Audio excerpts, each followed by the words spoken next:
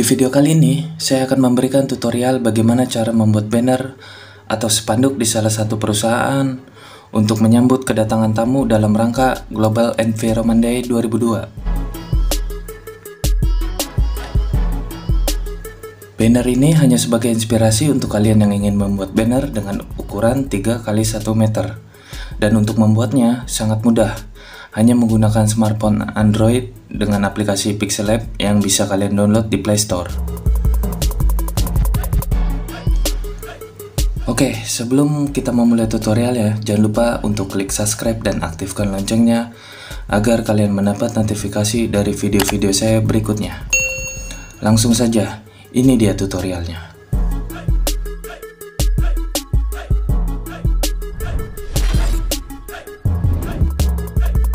Oke, langkah pertama di sini kita pilih icon titik tiga ini, lalu pilih image size. Selanjutnya di sini kita ubah 9000 kali 3000 dengan aspek rasio 3 banding 1. Selanjutnya pilih icon plus ini, lalu pilih from gallery. Di sini saya mendapatkan bahan ini, saya mencarinya di Google. Jadi tanpa ribet-ribet, dan saya akan memotongnya seperti ini. Kemudian langkah pertama saya akan menghapus untuk tulisannya. Beli icon eraser ini. Lalu kita akan menghapusnya.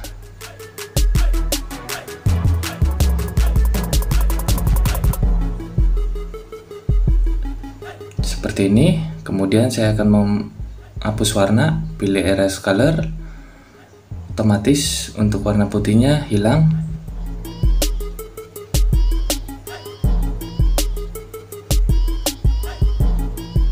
Dan saya akan menempatkannya di sisi sebelah sini. Kalau sudah kita pilih checklist. Selanjutnya kita akan menguncinya agar tidak bergerak. Kemudian kita pilih copy lalu saya akan mengcrop di sisi sebelah sini.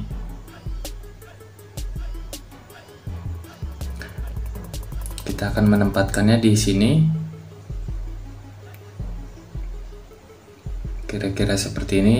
Lalu pilih icon yang ini. Kita akan gabungkan. Maka menjadi satu kesatuan seperti ini Oke, kalau sudah seperti ini kita kunci terlebih dahulu agar tidak bergerak. Kemudian di sini kita akan mengubah backgroundnya menjadi warna putih. Pilih ikon yang ini, lalu pilih color. Di sini pilih yang berwarna putih ini. Kalau sudah checklist, kemudian di sini kita akan memasukkan gambar lagi agar backgroundnya tidak putih polos. Saya menggunakan gambar yang ini lalu tempatkan dan sesuaikan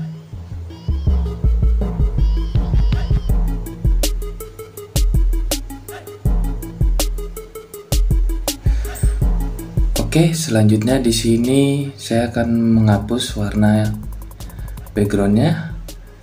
Lalu kita pilih penanya, kita tempatkan yang akan dihapus seperti ini.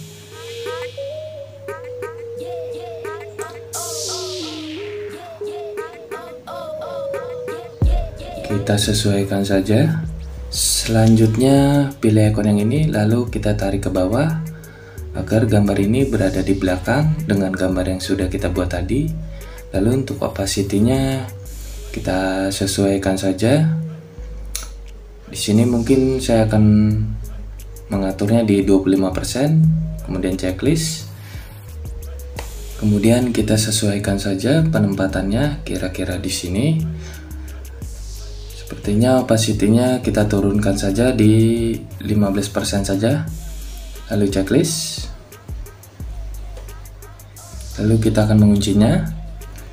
Oke, kalau sudah seperti ini, selanjutnya kita akan memasukkan teks, pilih icon plus ini.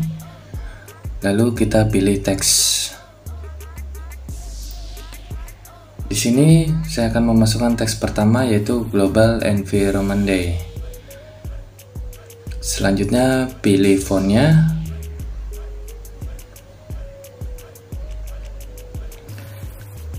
Seperti ini, kemudian pilih spasi. Saya akan mengatur untuk jarak antara tiap-tiap huruf. Kira-kira cukup. Lalu kita perbesar dan sesuaikan saja. Saya menempatkannya di sebelah sini. Lalu pilih color, pilih icon plus ini, lalu pilih tanda pena kita akan memakai warna yang ada di sini. Jadi terlihat sama. Kemudian kita akan menambahkan shadow. Untuk blurnya saya akan memberi di 3 lalu offset X 3 dan offset Y 3 seperti ini lalu kunci Oke selanjutnya di sini mungkin saya akan mempercepat videonya karena hanya beberapa teks yang saya tambahkan di sini untuk nantinya saya akan menambahkan seperti logo dan gambar-gambar lainnya.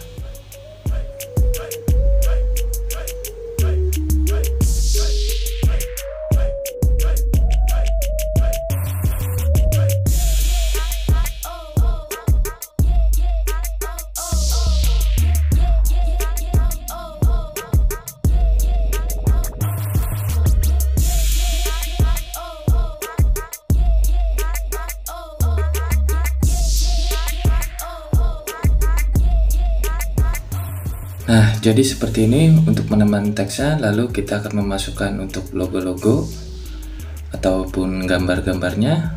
Di sini saya akan menggunakan logo yang ini dan menempatkannya di sebelah sini. Kemudian kunci, lalu pilih plus lagi. Selanjutnya saya akan menambahkan logonya yang ini juga. Lalu saya akan mengatur dan sesuaikan dengan logo yang tadi agar terlihat sama besar.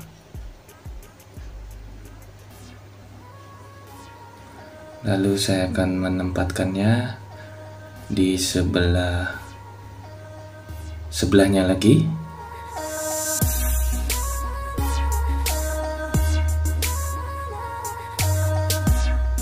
Sudah cukup selanjutnya di sini saya akan menambahkan hashtag.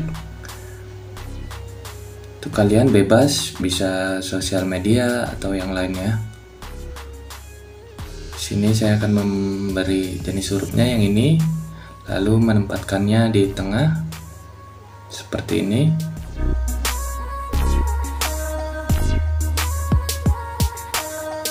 Jangan lupa untuk menguncinya agar tidak bergerak Selanjutnya di sini saya akan menggunakan gambar yang tadi.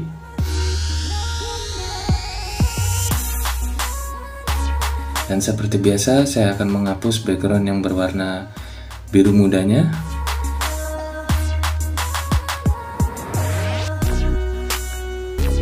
Seperti ini, lalu saya akan menempatkannya di sebelah sini. Seperti ini, Oke, mungkin untuk teksnya saya akan mengaturnya lagi karena terlihat kebesaran. Kemudian kita akan geser dan tempatkan di tengah-tengah. Tinggal kita sesuaikan saja. Oke, hasilnya akan menjadi seperti ini. Lalu pilih icon yang ini, lalu kita pilih save as image. Untuk format kita pilih JPG. Save to gallery. Oke, kalau sudah seperti ini, kalian bisa menyimpannya lagi. Sewaktu-waktu kalian ingin merubahnya, kita save as project. Oke, jadi begitulah saya membuat banner dengan menggunakan aplikasi Pixel Lab dengan ukuran 3 x 1 meter. Terima kasih sudah menonton. Jika kalian suka dengan video ini, silahkan tinggalkan like dan jangan lupa follow Instagramku and see you next video. Bye bye.